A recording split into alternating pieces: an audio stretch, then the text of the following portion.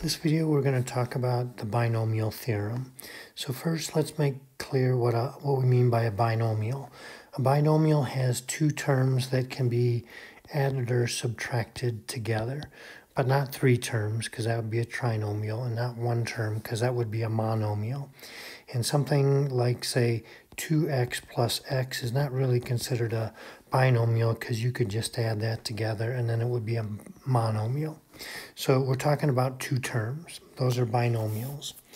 Now what we're going to do is look at different powers of these binomials.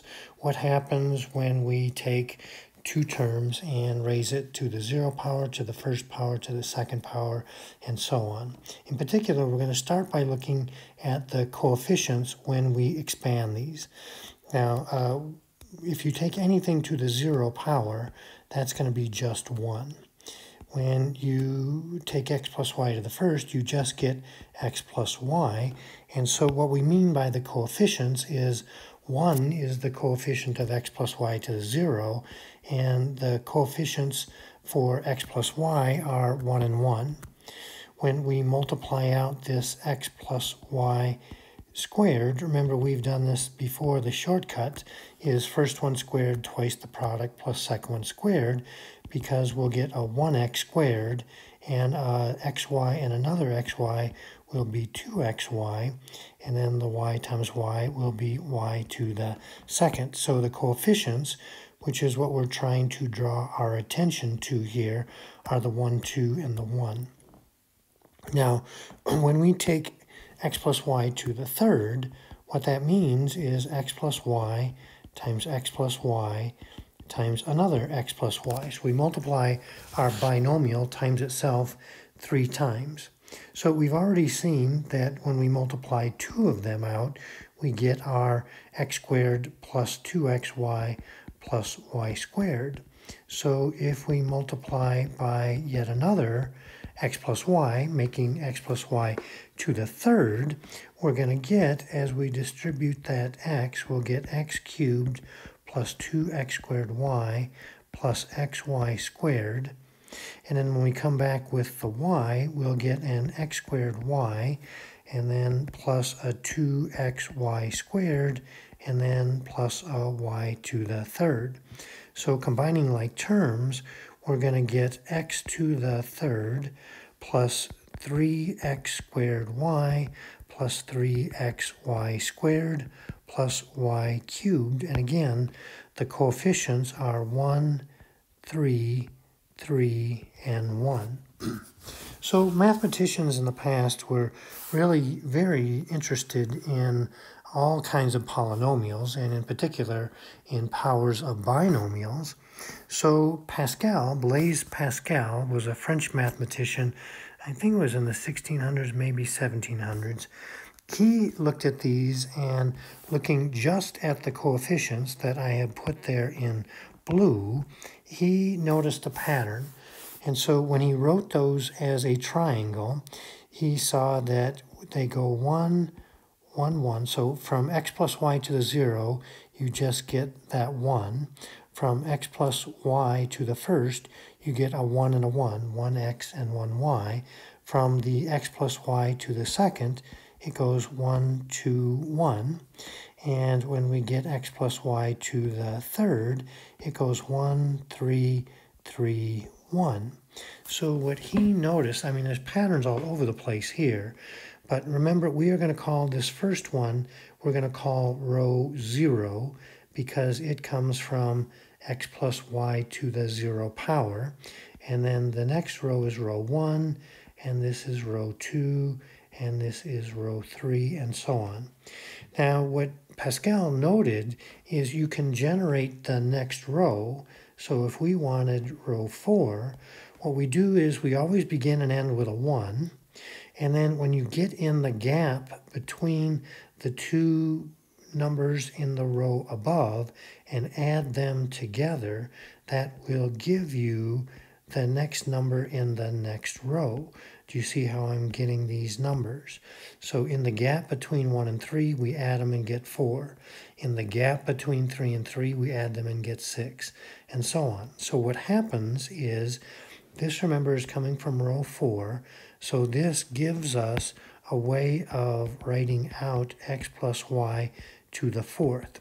We know the coefficients are going to be 1, 4, 6, 4, and 1. When we look at the powers of x and y, we can see, now remember this was the expansion for x plus y to the third, we started with an x to the third and y to the zero.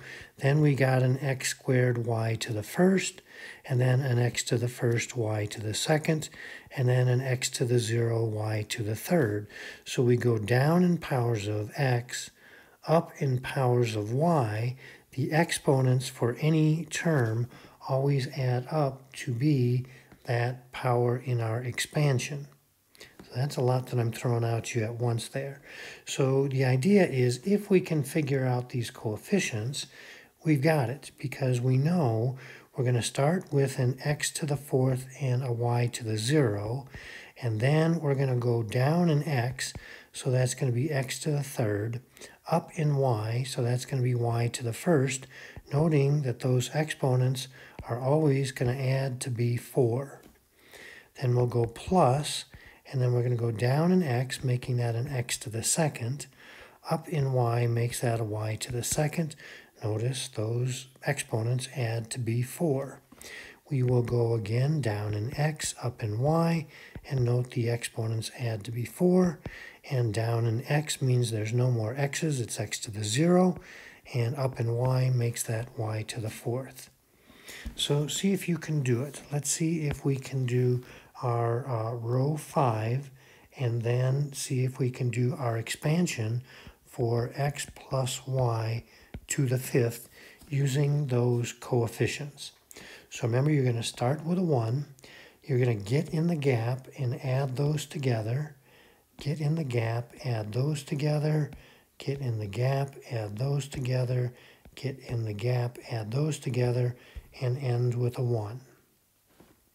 So that means our expansion, I'm going to move this over a little bit, is going to be uh, 1 x to the fifth, no y's, plus a 5 x to the fourth, y to the first.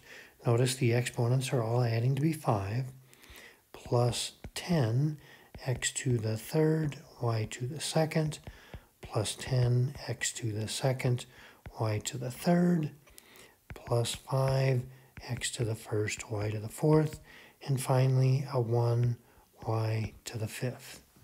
Kind of cool? Okay, now that's one way we're going to be able to expand these binomials is using what's known as Pascal's triangle. We're going to learn another way. So if you want to practice, you can do those. Maybe let's do, uh, I guess we should probably do what happens when we have a negative. So we'll think of that as being x plus a negative y to the fourth. So using our uh, Pascal's triangle to get the coefficients from row 0, we see that they're going to be 1, 4, 6, 4, 1. So that's going to be 1 x to the fourth, and then you're going to get a plus 4, but then we're going to get an x to the third, and a negative y to the first. I'm going to come back and simplify that in a moment. Then we're going to get a 6 x to the second and a negative y to the second. And then we're going to get a 4 x to the first and a negative y to the third. And then we're going to get a 1 and we'll get an x to the 0 and a negative y to the fourth. So when we simplify that, what happens with this negative sign is we're just going to alternate signs. So we are going to get our x to the fourth. The negative from the negative y to the first will come out and join the 4, the coefficient 4, and make that a minus 4 x to the third y. On the term that's squared, the negative gets squared out, so it's back to being positive causing this alternating in the signs and the coefficients. And then we'll get an x squared y squared. When we have an odd power of that negative, it's going to be negative again. So we'll get a minus 4 xy to the third.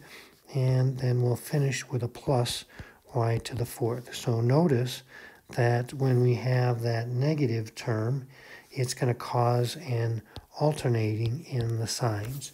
A positive, negative, positive, negative, positive. Okay, let's take a look at this two, this x plus 2 to the third. Now our Pascal's triangle is going to go 1, 3, 3, 1. So that's going to be 1 x to the third. We're going to get a coefficient of 3. We're going to get an x to the second. And we're going to get a, negative 2 to the first because it's acting like our y. And then we're going to get a 3 for the coefficient. We now have an x to the first. And now our y is being played by negative 2 squared.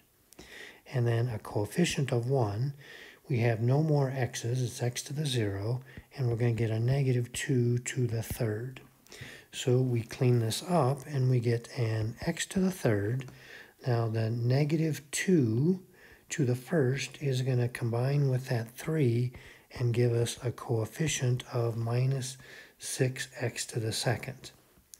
The negative 2 squared is positive 4 times the 3 will make that a plus 12x the negative 2 cubed is going to be a negative 8, and that's going to be our last term, and that's our expansion. Now, we can also get coefficients from both the x and the y terms, that is the first term and the second term. Now remember, our binomial coefficients go 1, 4, 6, 4, 1, and they're going to also join these powers of 2x and 3. So we're going to get a 1 from the coefficient, that's this coefficient. We're going to get a 2x to the fourth, and our 3 is going to be to the 0 power, so it's not going to contribute anything.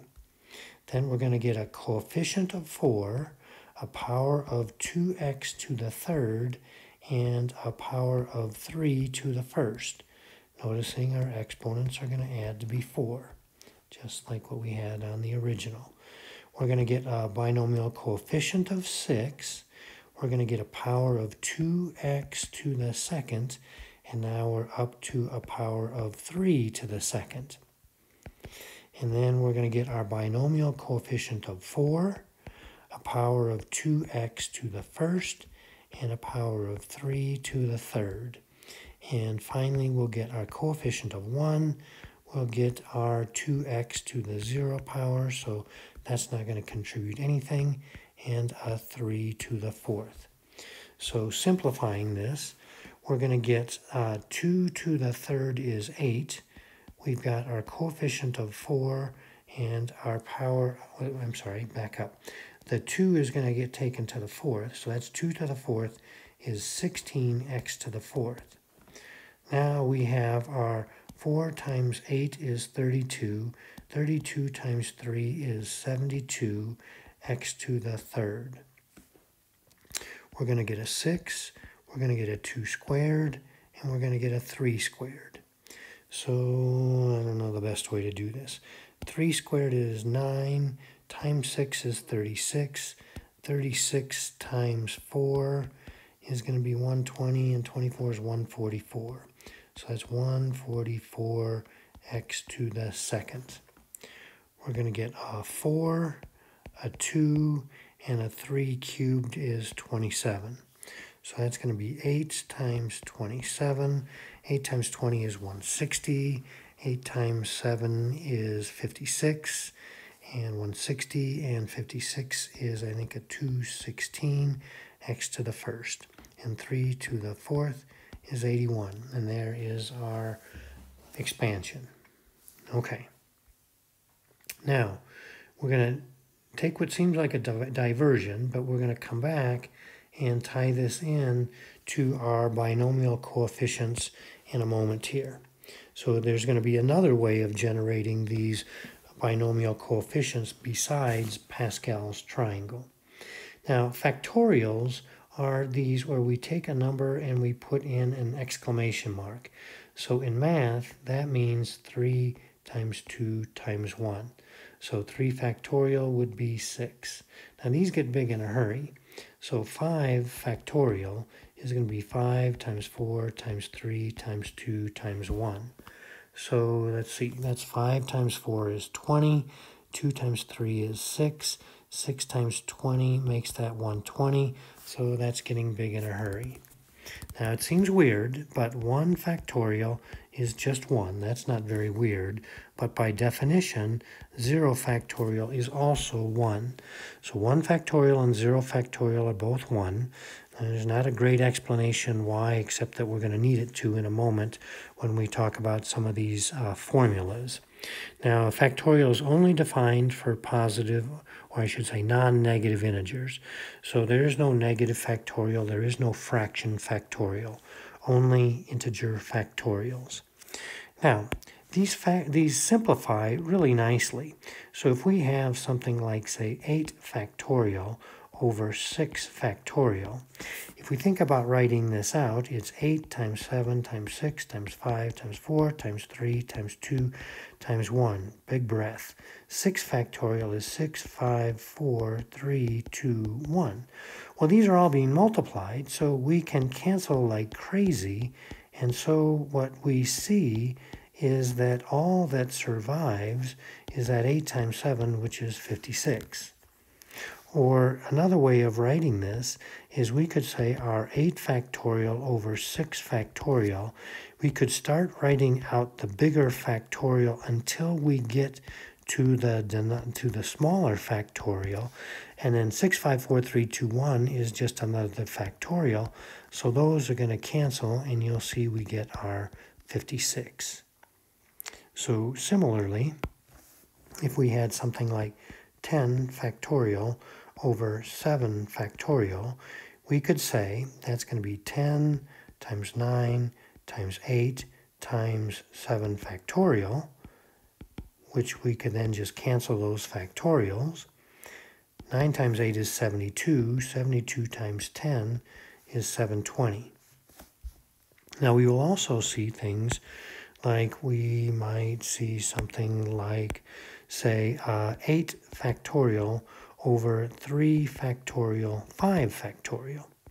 So we'll, when we see something like this, which we will shortly, we will expand the biggest factorial until we get to the second biggest factorial.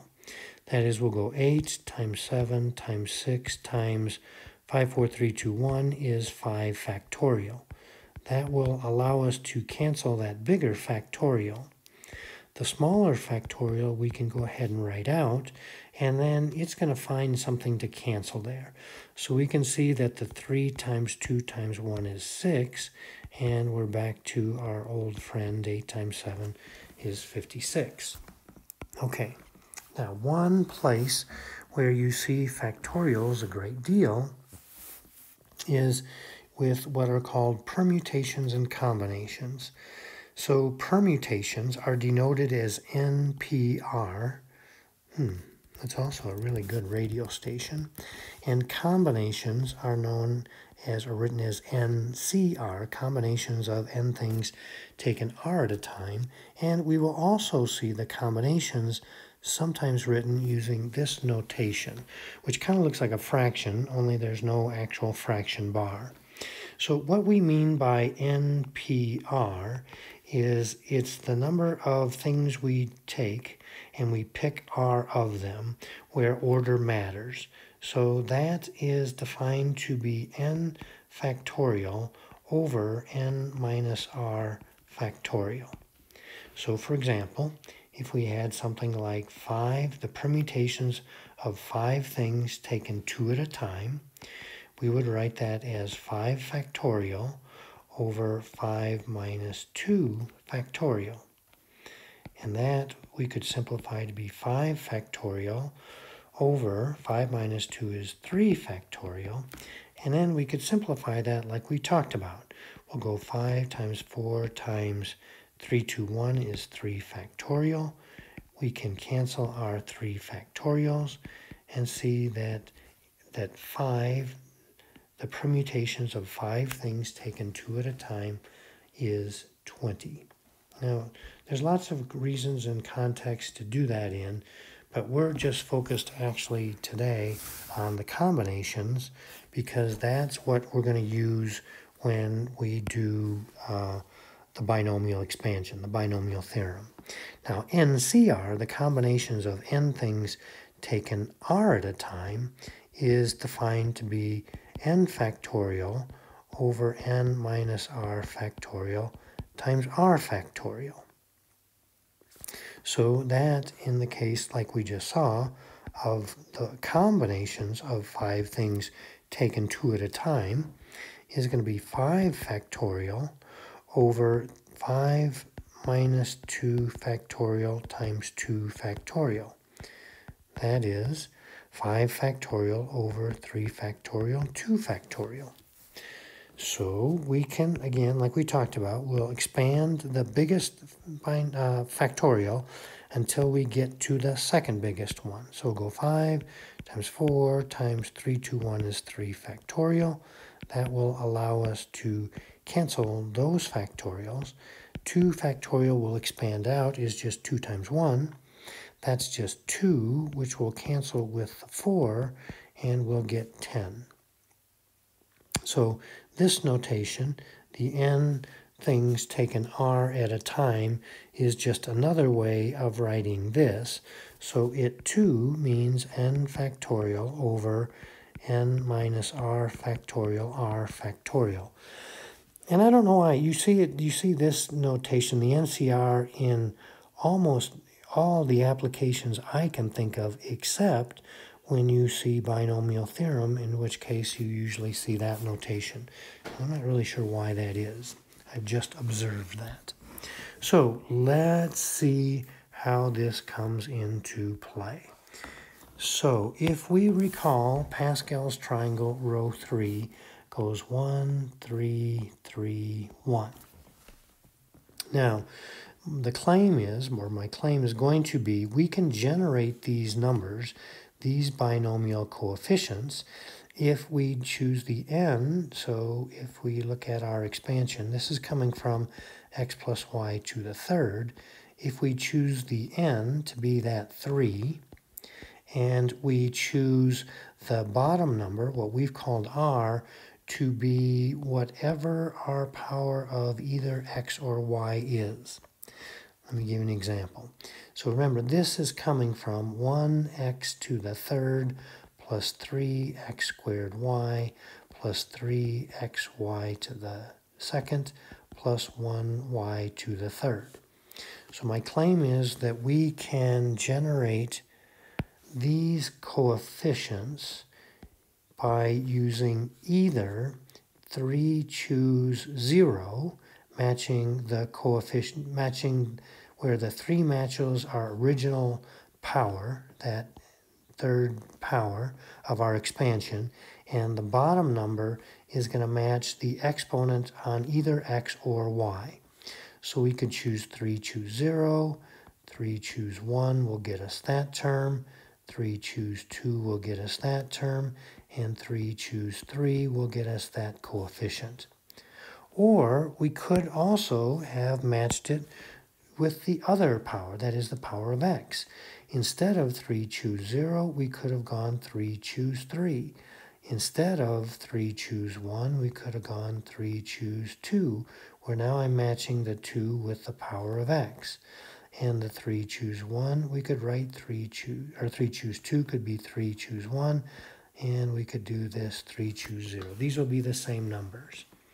So we can see that. I'm going to do the green ones, and you can try the red ones if you like. So 3 choose 0 means 3 factorial over 3 minus 0 factorial times 0 factorial. So this formula is why we define 0 factorial to be 1, because we don't want to get a 0 in the denominator. So this is going to be 3 factorial over 3 factorial, 0 factorial. Well, those are going to cancel and be 1. 0 factorial is 1, so that is 1, which is exactly our coefficient of that first term. 3 choose, what did I say, 1, is going to be 3 factorial over 3 minus 1 factorial 1 factorial. That's 3 factorial over 2 factorial, 1 factorial. So remember 3 factorial is 3 times 2 times 1, and that will cancel with our 2 factorial. 1 factorial is 1, so that's going to give us 3, which matches our coefficient. Looking at 3, choose 2. That's going to be 3 factorial over 3 minus 2 factorial, 2 factorial.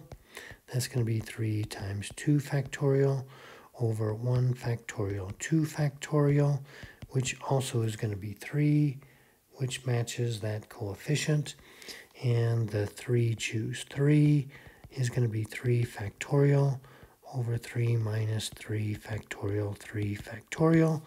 That's 3 factorial over 0 factorial, 3 factorial, which is also 1. And so it gives us those coefficients. Okay, so what are the implications of this?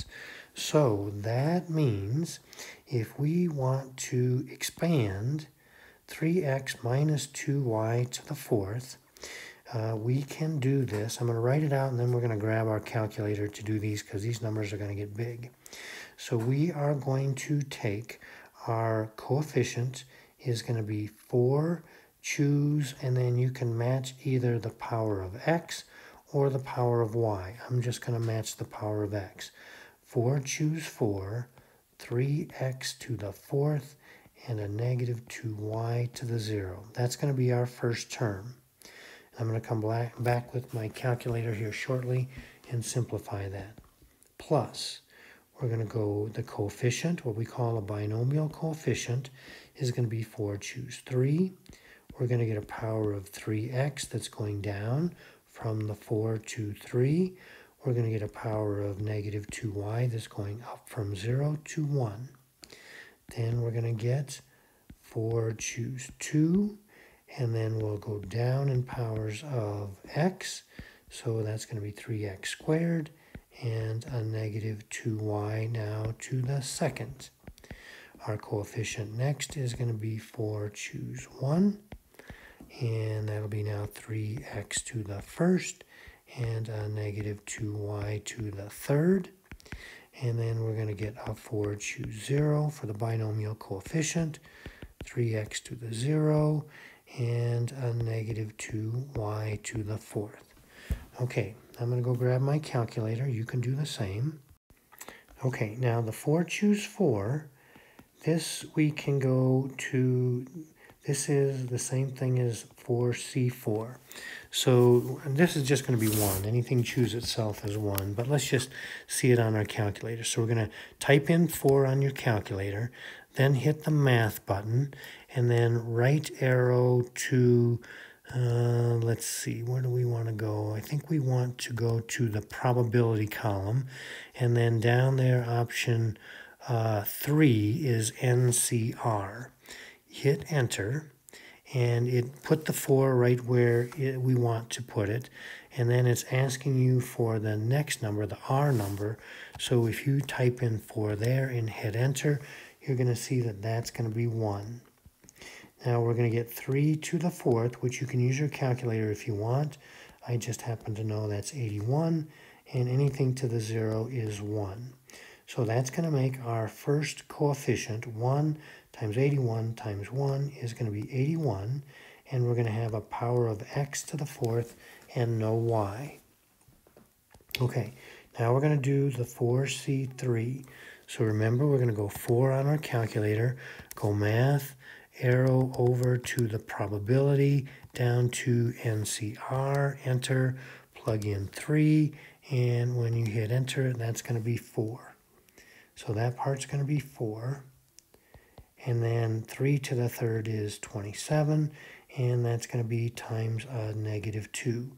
So when you multiply that, 4 times 27 times the negative 2, you're going to get a negative 50. And we're down to, now we're going to get a power of x. That's going to be x to the third, and we have a power of y to the first. See how this is working?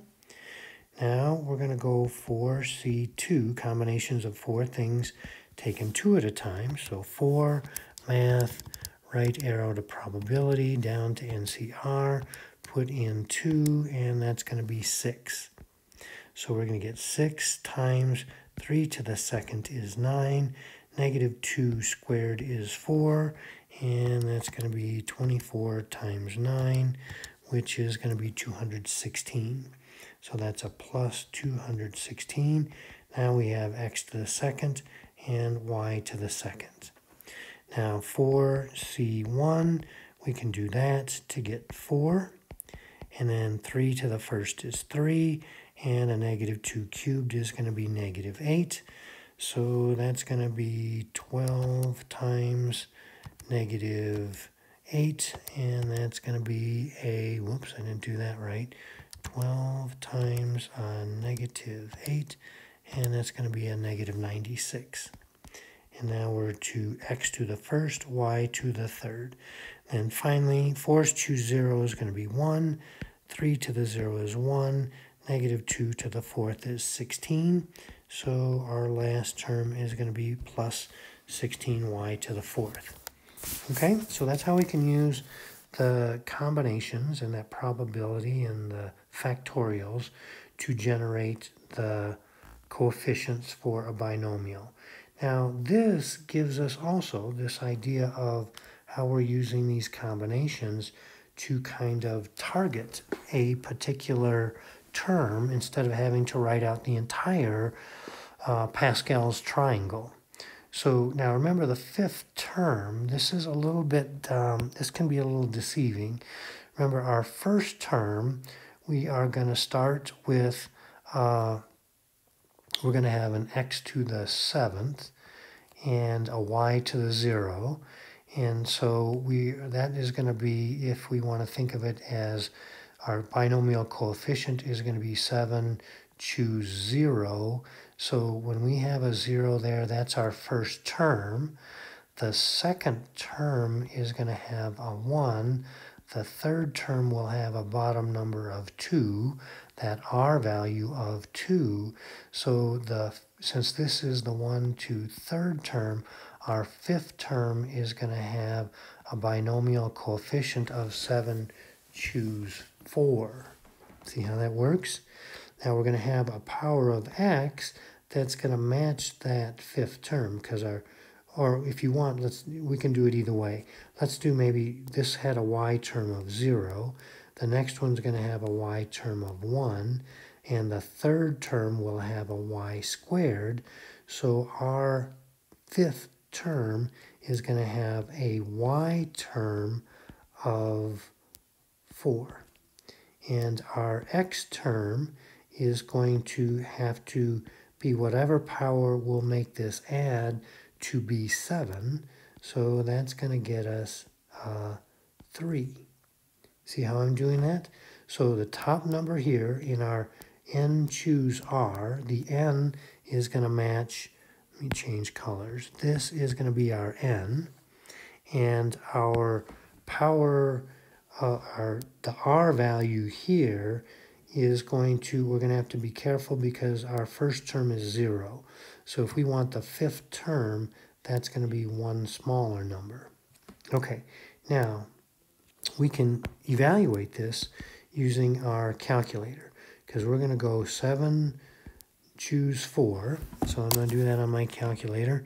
7 math arrow to probability down to NCR put in the 4 and that's going to be 35 so that's going to be 35 and we're going to get a 5 to the third which you can do on your calculator, or if you know that that's 125, you can just go to that as well. And our negative 3 to the fourth, you can put on your calculator, or I happen to know it's 81. At any rate, we're going to get our coefficient. I'm going to go 35 times 125 times the 81. This is going to be a big number is 354,375. Our power of x is going to be x to the third, and our power of y is going to be y to the fourth. That is our fifth term in the expansion of 5x minus 3y to the seventh. Okay, let's do one more. So now it's only asking us for the coefficient a. So we don't really care about the power of x and the power of y, but we kind of kind of have to think about what that's going to be. So see if we can do this. We're going to go our n choose r for our binomial coefficient is going to be 10 choose and we can match one of these powers of either x or y. So we can either use 10 choose 4 or we can 10, use 10 choose 6. Those will give us the same number, so you can't really go wrong. We're going to get a 3x to the fourth and a 2y to the sixth because they're going to match our powers. So if all we want is the coefficient a, we don't care about the powers of x and y. We're going to do our 10 choose 4 times 3 to the fourth times 2 to the sixth. So I'm going to put it in just like that. 10 math over to probability and hit. Oh, sorry, I did that wrong. Let me clear that off. I'm going to go 10 math over to probability down to NCR and then put in the 4. Then I'm going to go right arrow so I can get up on the same level. I'm going to go times and then I'm going to write 3 to the fourth. So 3 raised to the fourth, arrow out of the exponent. I'm going to go times 2 raised to the sixth and hit enter. And I'm looking at 1 million